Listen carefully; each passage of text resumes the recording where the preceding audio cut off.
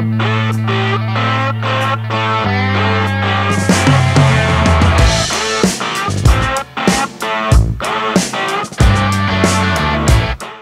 man, you want that new bike and you're gonna do anything to get it, right?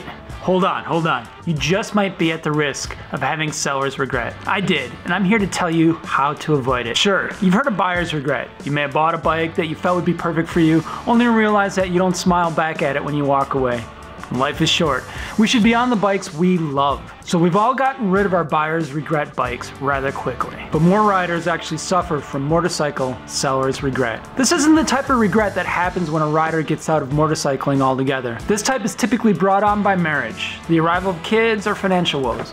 What we're talking about here is regret selling or trading in a bike to buy another. This could be a bike you had after riding for a while and just let go. But the bike you regret selling is more likely than not your first bike. Right now, you're either thinking of the one bike you let go for a new one that has more power, extra fancy tech, or greater comfort. All great reasons to sell a bike. Or you love your new bike and you would never want to go back to the old bike. Yeah, each time I bought a new bike, I thought I would never want to go back to my old one and never have regret but it always creeps in. It could be mere moments after you get the new bike, or, like me, a few years later. The reasons for seller's regret are multiple and endless. It could be the looks of the bike or the riding style it provides. My seller's regret does include both those, but it's more the emotional and intrinsic values I held for that bike. If you follow this channel for a while, you likely already know which bike I have seller's regret over. talk more about that in a bit, but first, let's go over how to avoid getting seller's regret in the first place. I probably suffer more from seller's regret than most riders.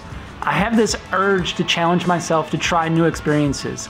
That includes different types and sizes of motorcycles. I'm also fueled by a strong sense of nostalgia.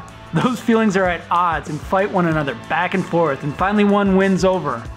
Mm, for a short period of time until the other comes roaring back. This in part explains why I have switched bikes so much over the last few years. The first way to avoid seller's regret is to simply not sell your bike. yeah, yeah, easier said than done, right? If you want to get on a new bike or a different riding style, the quickest way is to trade in or sell your current bike. But a trial period might be a better option. You want that new bike, so I'm not even going to suggest that you wait and save up for it. Better to buy the new bike you want and hang on to your current bike for a predetermined period of time. Could be a week, could be a month, just as long as it gives you time to say, yeah, I'm not gonna ride that bike much anymore. What you're thinking now is you can't afford the new bike without trading in your old bike. Well, you have a few simple options. The first one is simply financing the new bike. Pretty sure you're like me. I'm smart with money.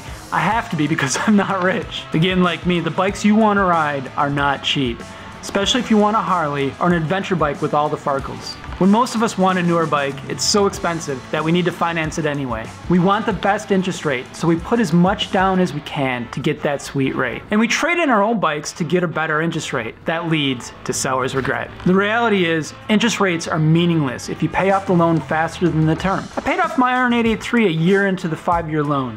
When I bought my Lowrider S last summer, I financed all but 1800 of it. I later decided that the high interest rate made me so nauseous, so I paid off the loan in a month. By paying off these loans early, I effectively made the interest rates meaningless, no matter what they were set at. Here's how to combat seller's regret. Keep your old bike, buy the new bike by financing it. Sure, put as much down to keep the interest rate lower. But even if the interest rate can be lowered more with a trade-in, don't do it. If after your set trial period ends and you find yourself not riding your old bike, Sell it and use the money to pay off a good chunk of the loan for the new bike. Sure, you have to go through the work of selling your old bike, but online marketplaces make it pretty easy to sell, and you get more for it than you would have trading it in. Most importantly, it will be all worth it to avoid seller's regret.